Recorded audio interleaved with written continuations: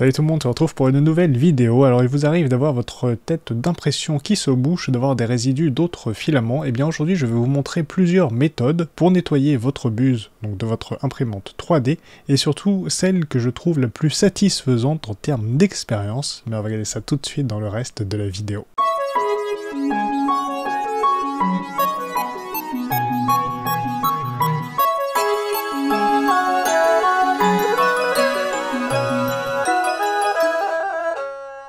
Je vais donc vous présenter comment nettoyer votre buse, mais avant ça, déjà pour savoir si votre buse est bouchée, le plus simple reste de pousser le filament à la main en débrayant votre extrudeur et en essayant de sentir à partir de quel moment le filament commence à avoir du mal à sortir. Enfin, si le filament sort moins qu'habituellement ou avec des résidus de filament précédent, il peut effectivement être intéressant de la nettoyer avec une ou plusieurs des méthodes que je vais maintenant vous présenter. Méthode numéro 1, vous pourrez simplement chauffer la buse en place et utiliser une aiguille pour essayer de casser ou déformer donc ce qui obstrue la buse et pour que ça sorte avec le filament que vous allez insérer juste après.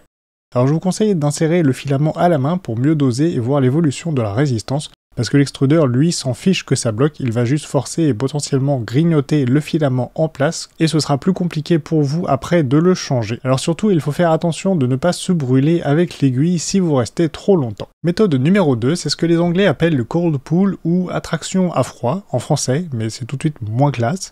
Alors c'est une méthode assez populaire, elle revient à insérer donc du filament dans votre hot end à température, on va dire classique de fonctionnement du filament, toujours à la main et essayer de baisser la température aux alentours des 90 pour du PLA ou 110 pour de l'ABS et enfin de tirer tout simplement dessus jusqu'à ce que ça sorte. Et si tout se passe bien, vous devriez avoir un bout de filament qui reprend donc la forme de la buse et donc une petite tige qui correspond normalement au diamètre de la buse de 0,4 à peu près mm par exemple. Personnellement, je recommanderais cette méthode plutôt pour des imprimantes qui sont en direct drive comme la Sidewinder X1, parce qu'avec le système de type Bowden, le filament présent dans la buse reste souvent au niveau du hot end et peut aller jusqu'à le boucher si ça ne se passe pas correctement.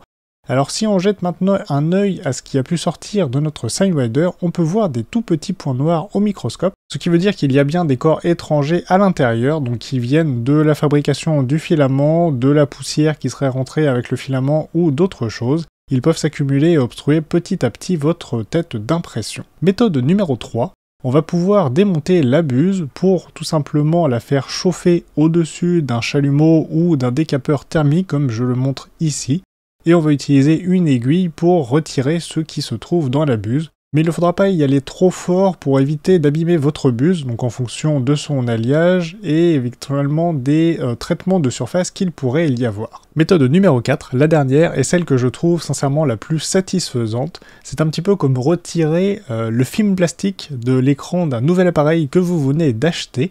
Alors pour pouvoir le faire, on va chauffer la buse à la température classique d'utilisation, pousser du filament à la main et le retirer d'un coup et ensuite, on fait baisser donc la température de la buse aux alentours des 185 degrés pour du PLA par exemple. On démonte la buse et on retire tout simplement le filament à l'intérieur qui devrait dépasser un petit peu et donc s'attraper avec une pince. Là, le filament se retire facilement et intégralement pour laisser un résultat extrêmement propre. Alors c'est une technique que vous pouvez utiliser pour nettoyer l'intérieur de la buse, mais également l'extérieur, donc sans forcément avoir à démonter euh, la tête dans ce cas. Vous l'aurez compris, le but est de trouver le bon niveau de température pour que le filament s'étire, ne se casse pas et surtout ne reste pas collé sur la buse. Maintenant, il se peut que votre buse ne soit vraiment plus en état et qu'il faille vraiment la remplacer.